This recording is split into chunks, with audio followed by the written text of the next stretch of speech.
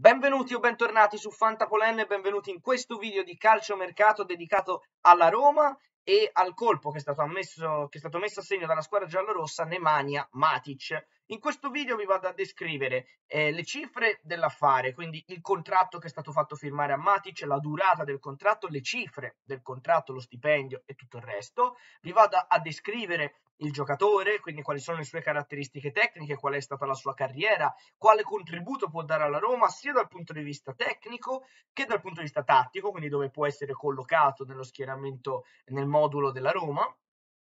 e soprattutto a livello di leadership caratteriale, perché è quello secondo me il, il motivo del colpo che ha messo a segno la Roma,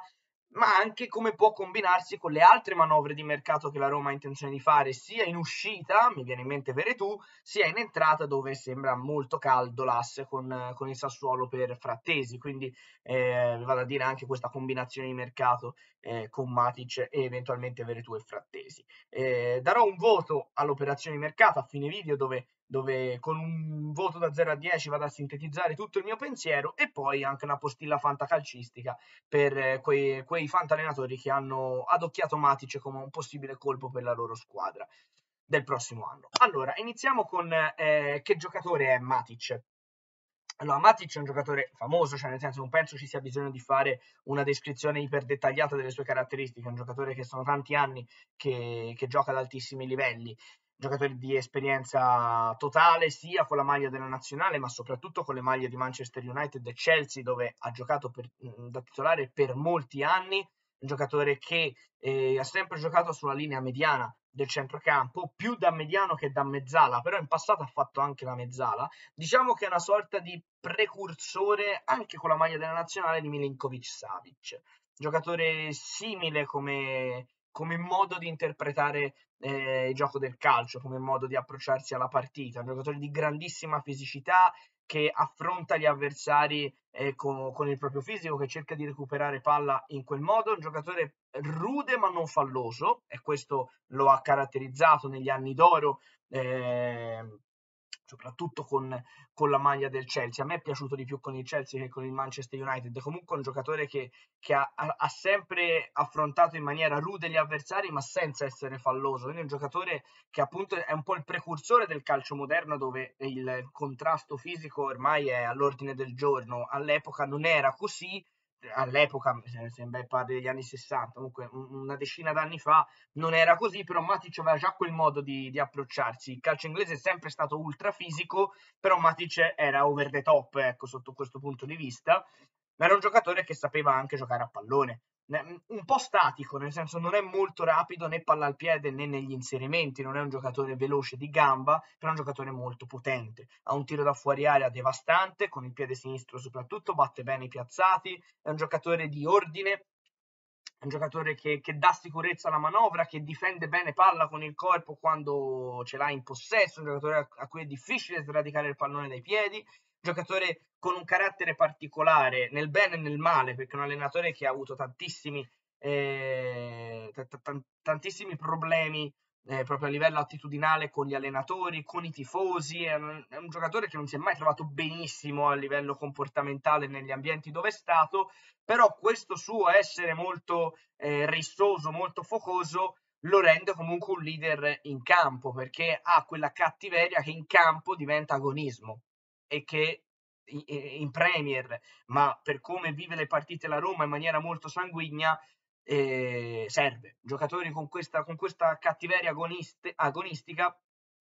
servono come il pane. E alla Roma, ma in generale in, Serie A, dove giocatori di, di, di, carattere, di carisma ce ne sono pochi, effettivamente, a prescindere dall'età, eh, perché qui non si parla di giocatori over 30, eh, qui si parla di, proprio di una, una, cosa naturale, sono attitudini spontanee, non, non, si tratta di, non le maturi con il tempo, non è che diventi eh, sanguigno giocando 300 partite in Serie A, o ce l'hai o non ce l'hai, quella è natura. Matic l'ha sempre avuta fin da giovane, un giocatore eh, che, che appartiene al filone di un altro giocatore che aveva quel tipo di caratteristiche, eh, anche con la maglia del Chelsea, cioè Ivanovic. Ecco, è quel tipo di giocatore lì. Eh, infatti era una bellissima corrente serba quella lì, una corrente veramente eh, affascinante. Ecco, Matic per le caratteristiche che ha, secondo me, se, nella Serie A attuale, che gioca molto sulla linea dei centrocampisti in maniera eh, intensa a livello sia di ritmo che di aggressività, Matic può fare molto bene, cioè secondo me nello scacchiere tattico della Roma che eh, ha sposato durante la stagione il, 3, il 3-5-2 che è più un 3-4-2-1 perché poi nei tre di centrocampo Mourinho schierava sempre un trequartista che fosse Mkhitaryan o che fosse Pellegrini, comunque era un giocatore che tende ad alzare il baricentro, quindi poi alla fine è un 3-4-2-1 quello del, de, della Roma e io penso che Matic venga a sostituire spudoratamente Olivera, che è un giocatore che anche lui aveva, non, non, era un giovincello, non era un giocatore di primo pelo, era un giocatore di esperienza con la maglia nazionale, con la maglia del Porto, soprattutto nelle competizioni europee, però ha fatto male, alla Roma non, non, non si è integrato bene, a parte non è che avessi chissà che aspettative su quel giocatore, non mi è mai piaciuto, eh, vi dico la verità, eh, quando l'ha preso la Roma non, avevo aspettative importanti su di lui, su Matic ne ho di più? Sebbene abbia l'età che ha, eh, che è più, più, in là rispetto a Olivera, sebbene sia un giocatore che fisicamente di problemi ne ha avuti tanti in carriera, quindi non, non garantisce le 38 partite eh, stagionali in campionato più le 15 che farà in Europa la Roma, le 50 partite che farà la Roma, Matic non le garantisce, però se gestito bene, secondo me eh, può dare un contributo veramente importante, ben più alto di quello che ha dato Olivera in quella zona di campo. Io lo vedo come titolare nella Roma, sinceramente lo, non lo vedo come, come comprimario, io lo vedo come un giocatore cardine. Mourinho lo conosce già perché lo ha allenato in Inghilterra, quindi se Matic è arrivato vuol dire che o lo ha chiesto specificatamente Mourinho oppure magari è l'entourage di Matic che si è proposto alla Roma, però Mourinho ha accettato, quindi cioè, nel senso secondo me è una cosa di comune accordo e quindi io penso che, che, che Mourinho lo faccia giocare. Poi sicuramente deve, deve,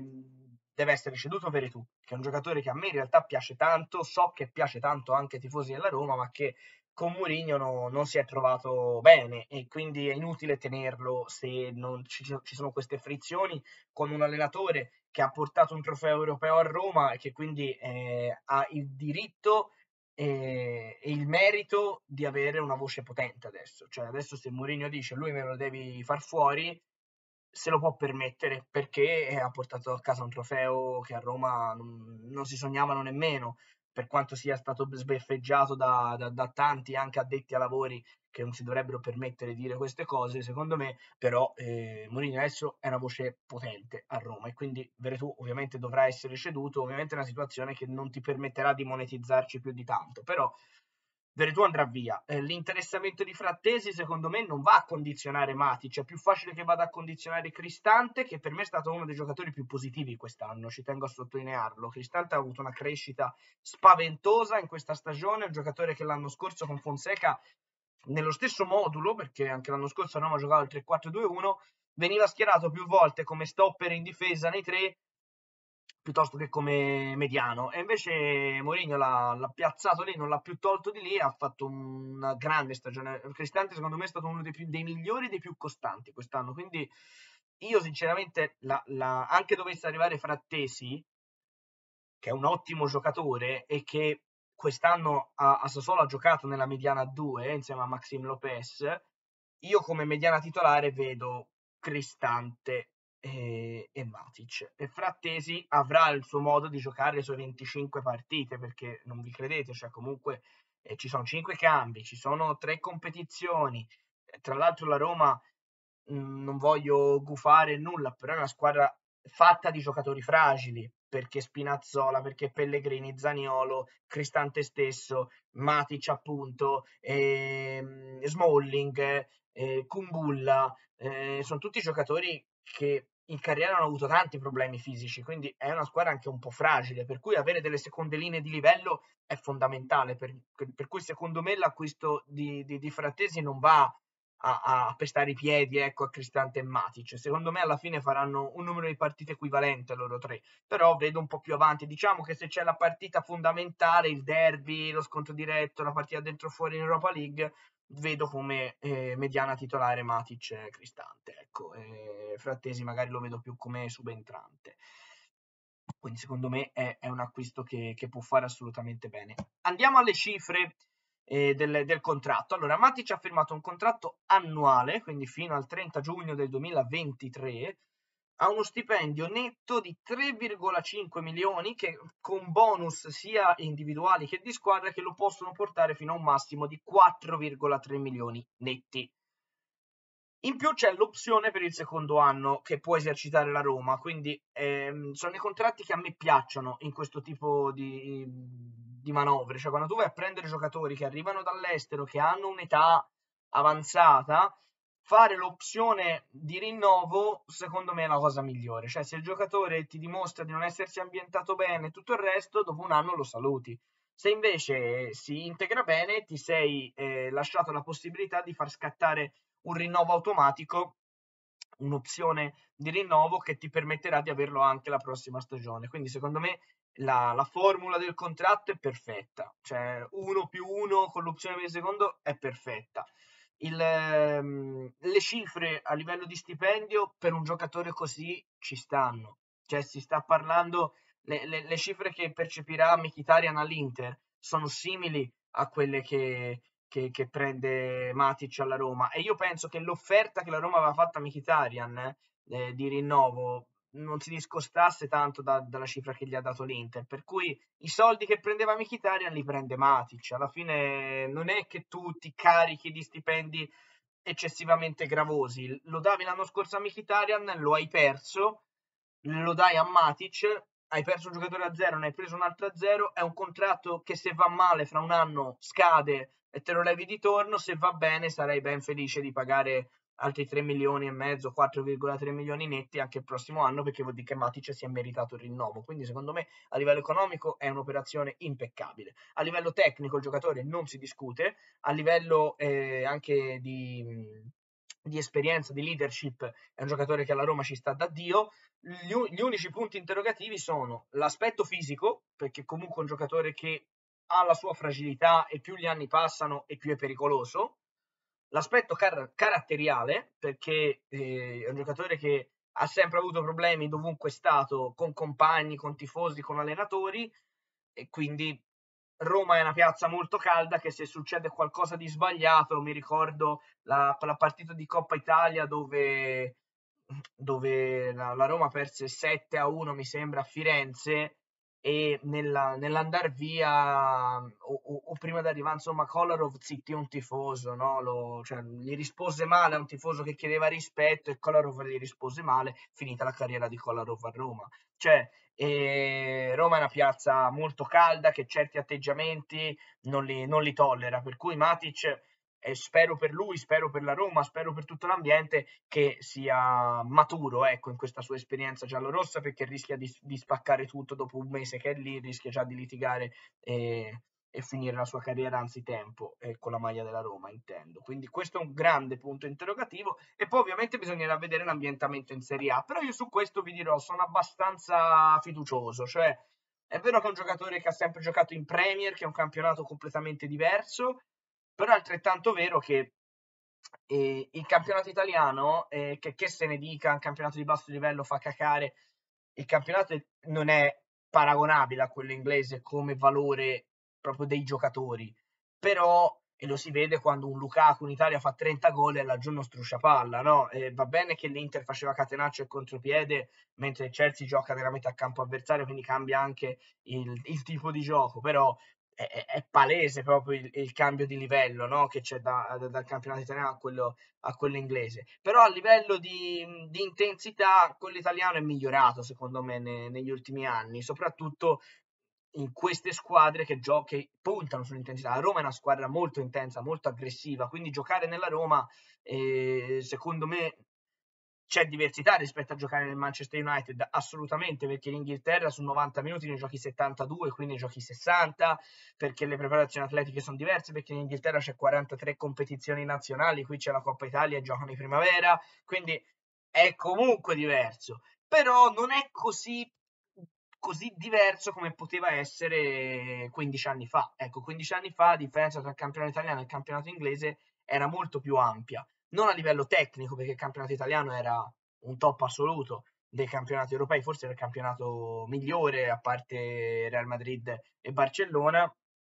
però era un, era un campionato completamente diverso, era proprio la, la, l'apoteosi del tatticismo, mentre in Inghilterra non era così, non c'erano nemmeno le marcature, era tutto fisicità, era tutta intensità. Ecco, secondo me si è assottigliata la forbice sul modo di interpretare il calcio tra il, cal- tra il calcio italiano e il calcio inglese. Il calcio inglese è semplicemente, è semplicemente superiore, è, è più avanti ed è superiore, però secondo me l'ambientamento in Italia Matic lo, lo, farà anche abbastanza velocemente, quindi sono abbastanza fiducioso sul giocatore. Quindi che voto do a questa operazione? Io do un 7,5 perché, perché c'è questi due punti interrogativi sulla tenuta fisica e quella mentale,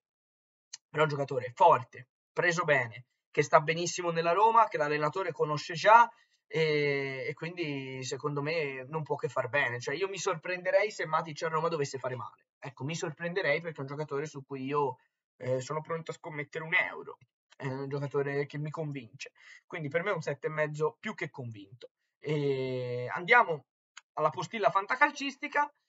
Ovviamente dipende se fate mantra o, o classico. Allora, come mantra, eh, se dovesse essere listato mediano, secondo me è un gran colpo. Eh, ovviamente si porta dietro i rischi della tenuta atletica, perché è un giocatore che potrebbe eh, avere degli infortuni durante l'anno, però secondo me come mediano, se giocate co, con, con, il mediano, con la mediana 2 eh, nel mantra, è un bel colpo, uno dei meglio. Secondo me è uno dei mediani più forti che c'è in, in Italia, perché è un giocatore che farà bene a livello di voti, ma secondo me tira fuori anche qualche bel gol, eh? cioè nel senso un giocatore che potrebbe tranquillamente chiudere la stagione con 6-7 gol e 4-5 assist, che per un mediano è tanta roba. Se giocate con eh, il fantacalcio classico, secondo me Matic va visto come un terzo slot. Matic va visto come un terzo slot, dovete stare attenti perché siccome un nome esotico, siccome è un nome importante, è un, è un top, eh, di non pagarlo come se fosse un primo. Ecco, questo è il rischio, cioè i primi slot sono altri, ora se il mercato non li porta via, i primi slot sono i Chiesa, i Milinkovic Savic, i Barak, eh, questi sono i primi slot. Ecco, Matic è ben lontano da questi giocatori, eh, ma è lontano anche da, da, dai secondi slot, come potrebbe essere un Fabian Ruiz per intendersi, o un Barella, no? Questi sono giocatori di secondo slot. Matic è un terzo slot che può fare benissimo, che se fa benissimissimo può diventare un secondo, però non, dovete stare attenti a non pagarlo come se fosse un top di reparto. Ecco, se avete Matic come top di reparto non va bene, se lo mettete eh, accanto a un top eh, o a un paio di scommesse di alto livello per dirvi due nomi, Zielinski e Damsgaard che hanno fatto cacare l'anno scorso ma hanno le qualità per poter far bene, un, un trittico di centrocampo, Matic, Zielinski e Damsgaard, secondo me se giocate col classico è un, è un, tridente rischioso, quindi in panchina dovete avere giocatori affidabili, però se, se vi gira bene avete fatto jackpot, questo è un po' il concetto. Bene, il mio video si conclude qua, e se volete dire qualcosa, aggiungere, fare domande, non siete d'accordo, eccetera, scrivete nei commenti, io rispondo sempre a tutti. Se volete supportare il canale, iscrivetevi perché quel più uno mi dà sempre il feedback che i video che faccio piacciono all'utenza. Ci vediamo ai prossimi video che saranno dedicati agli altri colpi di mercato e ai fantamercati. Trovate già il fantamercato della Roma, il secondo che ho portato sul canale, ma devo ancora portare le altre squadre. Quindi ci vediamo ai prossimi video. Ciao a tutti!